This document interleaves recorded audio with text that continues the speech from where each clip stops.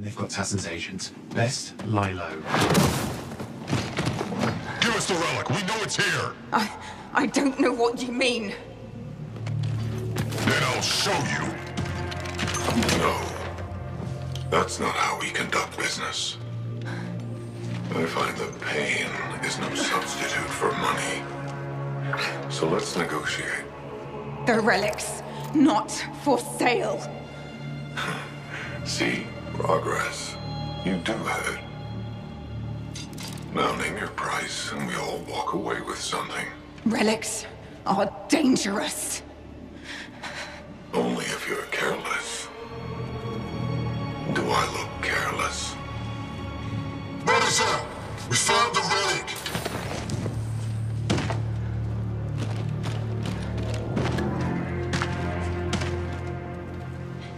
A pity for you. Negotiations have concluded. You bastard.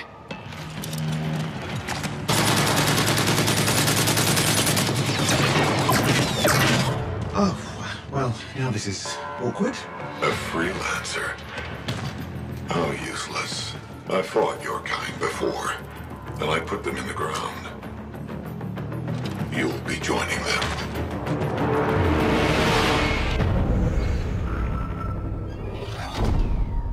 A few hours before Anthem's open demo was over, I decided to venture from one corner to the next to the edge before it teleports me back to the safe zone. I charted every inch of the demo zones and looked for one thing in particular lore information. As someone who was quite invested in the lore of Anthem and other Bioware games, I wanted to know if I will be left to guess the history or stories of this world. I was concerned if I would need a wiki to learn anything about this game, to learn how to play the game, or even understand the lore. I wanted to know if there is enough to do in Anthem. This is a question most of us ask ourselves when we heard about the rumors that Anthem won't have a lot of story. So I went around and gathered enough to see if we can get a visual representation for the amount of lore you will see at launch. After a few hours, I gathered about 3 hours worth of lore in the demo, and this is done by visiting places and picking up notes or defeating certain enemies or unlocking certain events.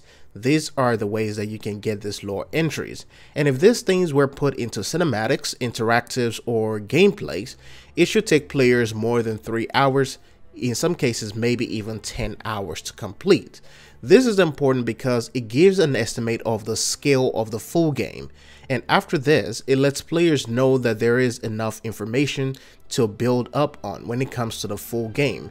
There are different chapters or individual stories to embark on even after the critical path. How many people knew that Helena Tarsis, the hero of Dawn, was actually married? The way she had been portrayed in front of a lot of people and what critics have said, we all thought she was a loner, that she didn't have a man or wasn't into dating at all.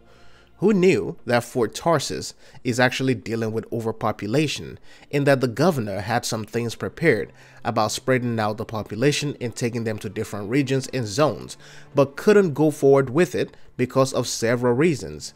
Did you know that there are royal families in Bastion? In this world of Anthem. These are some of the lore entries that I had a chance to collect, and if you just like reading, you can load up the game, enter into your library. For research, you can even connect the stories.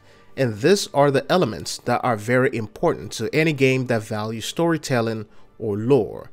After the lead writer for Bioware left a while back, I was worried, and amidst of the whole Bioware is a shell of its old self conversation, I have to say I was concerned about the game. But now I can say that if I can get 3 hours worth of lore from a demo, then the full game will have a lot to offer. Now, I will admit, I am a fan of Bioware, and sometimes I've been hypocritical about them, in that in most cases I will mostly defend them but I will not go as far as defend them blindly, not to the point where I am lying to myself or to my audience.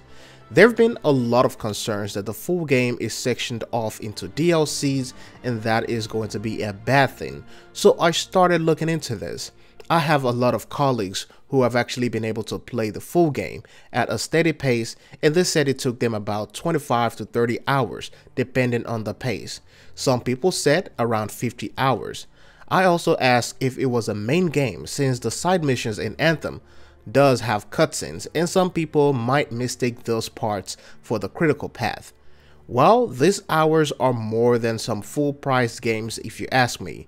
Mass Effect 2 was around 50 hours, and Andromeda was around 30 hours if you were all playing these games at a steady pace.